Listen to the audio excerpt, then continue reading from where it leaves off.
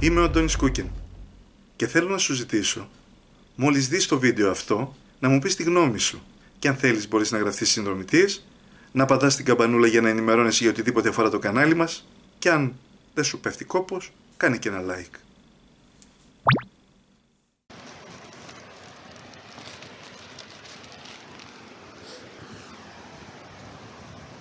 Ψωνάκια μου πολύ αγαπημένα, μην ακούτε αυτά που λένε τα βοθροκάναλα τρομοκάναλα. Σήμερα λοιπόν έλεγαν ότι θα γίνεται χαμός, ότι θα προχωράς και θα βγαίνεις ζεματιστός βρε παιδί μου. Σαν τα χόρτα που τα βάζουμε και τα ζεματίζουμε, έτσι δηλαδή αν εκτεθείς λίγο στον ήλιο. Η ώρα είναι 12 και μισή, βρίσκομαι στο κέντρο της Αθήνας. Βλέπετε πίσω το συντριβάνι το καταπληκτικό. Πίσω μου υπάρχει το Δημαρχείο της Αθήνας. Εκεί που υπάρχει και κάθεται κάτω από το air condition ο Γούντιο Τρυποκάριδος, ο Κώστας ο Πακογιάννης. Και θέλω να πω λοιπόν ότι η ζέστη είναι υποφερτή.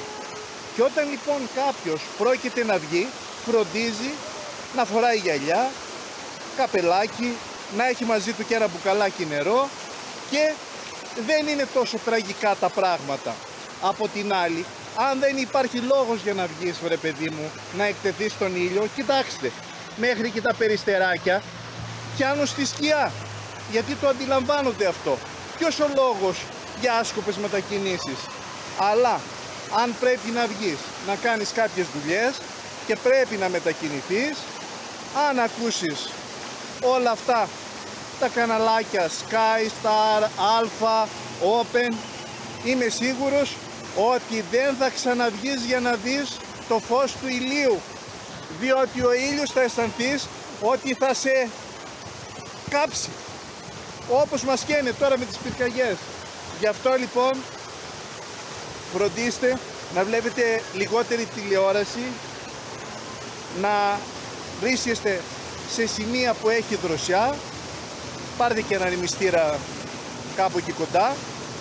Καλό θα είναι και αν έχετε τη δυνατότητα να πάτε σε κάποια παραλία από 12 έως 4 αποφύγετε την.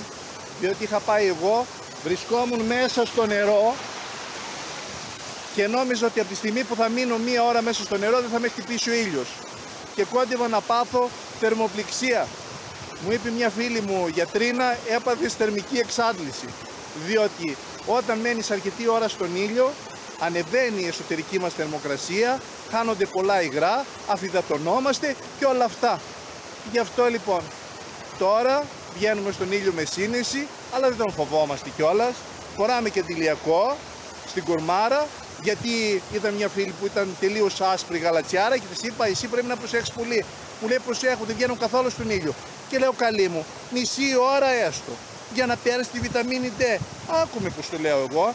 Φιλί δροσερό στη μούρη τσονάκια μου και κάντε βουτιές αν μπορείτε σε θάλασσα. Διαφορετικά στην πανιέρα. Και αν δεν έχετε πανιέρα, μήπως έχετε καμιά σκάφη σας βρίσκεται από αυτή που μας έκανε μπάνιο η μανούλα μας στο χωριό. Ε, κάντε εκεί. Φιλί στη μούρη.